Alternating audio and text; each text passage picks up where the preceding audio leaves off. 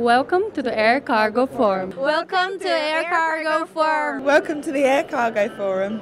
In de Rij in Amsterdam is op 2 november de grootste luchtvrachtbeurs ter wereld van start gegaan. In aanwezigheid van de burgemeester werd het officiële startsein gegeven voor de 25e editie van Air Cargo Forum and Exposition. Drie dagen lang staat de Rij in het teken van luchtvracht, een onmisbaar onderdeel van onze samenleving. Als je een goede luchthaven bent voor vracht, dan trek je extra bestemmingen en daardoor krijg je ook meer verkeer van passagiers.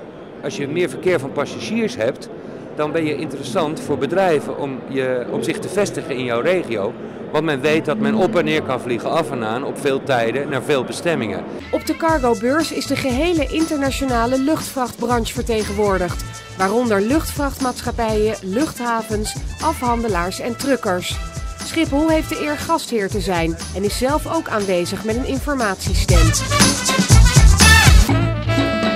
In het zogenoemde Schiphol-paviljoen toont de luchthaven samen met haar partners haar toegevoegde waarde als cargo-hub en logistieke vestigingsplaats.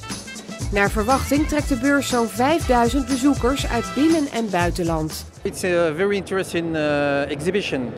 We can, met, we can meet a lot of, of our partners. Dat is de, een van de grootste beurs ter wereld qua cargo en Amsterdam is zeker de place to be. Uh, erg interessant. Goede beurs, uh, leuke contacten opgedaan. De cargobeurs in de Rij in Amsterdam duurt tot en met 4 november.